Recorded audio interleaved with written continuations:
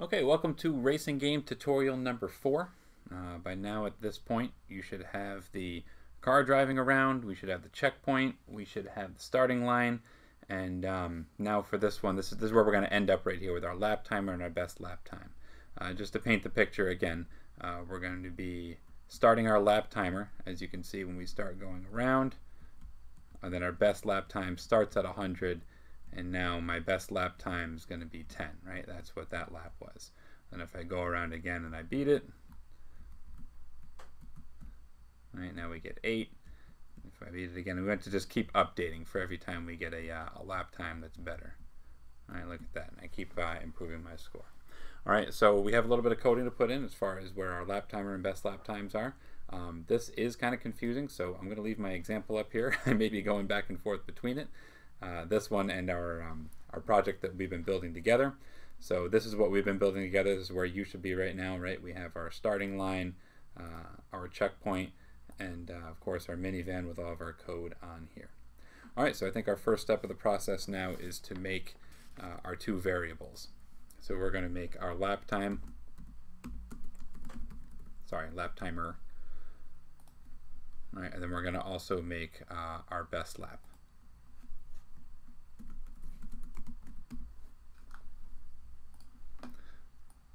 Put this one over here for the sake of doing everything the same way. All right, so uh, in the beginning, we want everything to, uh, or we want our, we'll focus on our lap timer right now. So we want our lap timer to reset to zero when our flag is checked. So our flag is checked, and we want to, in our variables, set our lap timer to zero. All right, now once we cross over our lap timer, once we touch this, sorry, once we cross over our starting line, we want our lap timer to start. So we can say forever. Uh, if we are touching our starting line, then we're going to start our lap timer.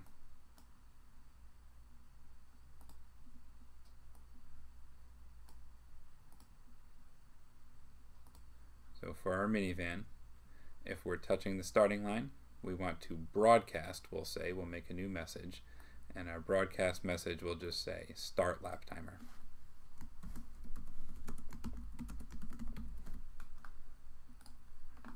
Cool. All right, so we're going to start our lap timer, and we're going to have this thing start counting. So when I receive, uh, when I receive start lap timer, we want our lap timer to first of all go back to zero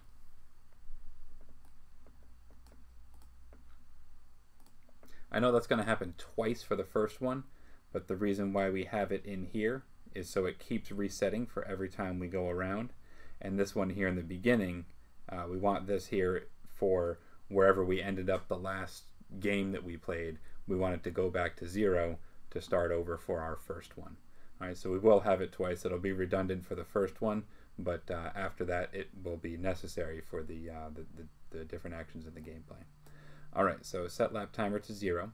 Uh, then we want our timer to start counting up one number every second. So we can say forever. We want to change our lap timer by a factor of one that's hidden behind my magnifying glass there. Um, and then we want it to change by one, and then we want it to wait one second. So we can say in control, wait one second, and then keep on counting up. All right, so we're going to touch the starting line and it's going to start counting. Now here's going to be the issue. Uh, we can even see it right here. I'm going to go over the starting line and I'm touching it, but I keep touching the starting line and that is going to continually send a message to start the lap timer. And you see it's not going right now. So that's not what we want. All right, this is why we built our checkpoint in the uh, previous tutorial. Now we're going to put in when we start when we touch the start line, start the lap timer, but wait and don't restart the lap timer until I hit this checkpoint out here. Hopefully now it makes more sense that uh, we want to have some other event happen when our car is on the other side of the track to be able to prevent someone from cheating or just the wrong codes in general from, from being broadcasted out within this program. So we'll start, we'll reset everything, and we're just going to put that in there right now. We're going to say wait after we broadcast stop, uh, start lap timer. we're going to say wait till we're touching that checkpoint over on the other side.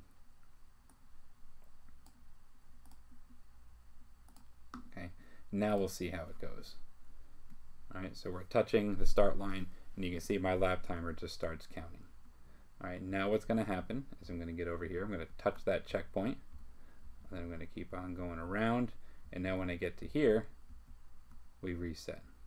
Okay, right, and if I accidentally go on the inside of the grass a little bit, I'm still going to have that reset happen, right, because I'm still going to be touching part of that checkpoint somewhere on the other part of my um, somewhere on the other part of my, my course. All right, awesome. So that stops that there. Now we have our lap timer. Now we're ready to get our best best lap time situation going. So we are going to say when our flag is clicked, we want to set our best lap time to some high number, right? We always want this to keep updating like we saw before.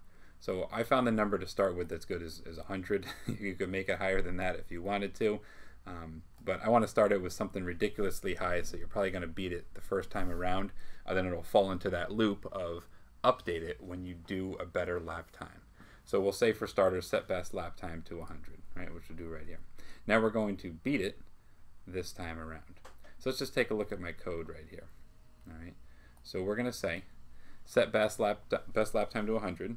Wait until we touch the starting line, right? Because we have to roll over the starting line in the beginning and then we're going to fall into this loop of checkpoint starting line. And every time we hit the starting line, we're going to check to see if the best lap time is greater than the lap timer, then we can update it. All right, so let's go ahead and build this thing. So we'll go in here and say wait until we're touching the starting line.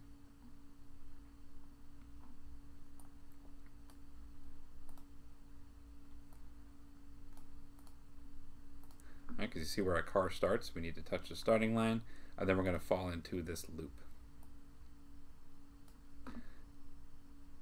We're going to fall into forever, checkpoint, starting line, checkpoint, starting line. And we'll say wait till we touch the checkpoint. can actually just duplicate that there if we want to. And then we're going to duplicate that same thing. Wait until we're touching the starting line.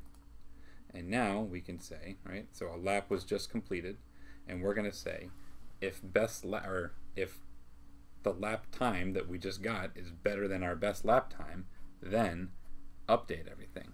So let's make sure we get everything uh, correct here. Right? And I'm actually going to go back to my demo to make sure I tell you the right thing the first time around. All right, we want our best lap time. If our best lap time is better than our lap timer, then update it. Alright, so best lap time is greater than our lap timer.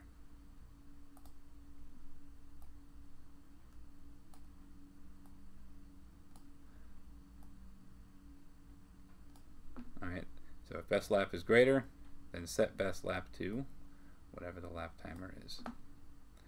Alright, let's see how we did. Right now we're at 100, hit my checkpoint, hitting the walls quite a bit.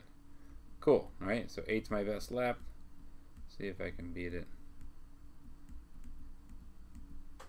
7's my best lap. I don't know if I'll be able to get better than that, but my timer is working and everything looks good. Right? And actually that was a good one, a good test right there as well, right? If I had get a time of like 10 seconds, nothing should happen, right? It shouldn't update my my best lap timer, right? But it did it did update uh, the regular lap timer right here. All right, so that takes us up to the end of this tutorial. Um, best of luck putting in these codes. Of course, we could do them a little bit differently if you wanted to. Uh, the next tutorial, we'll talk about some of the additional elements that can be added in.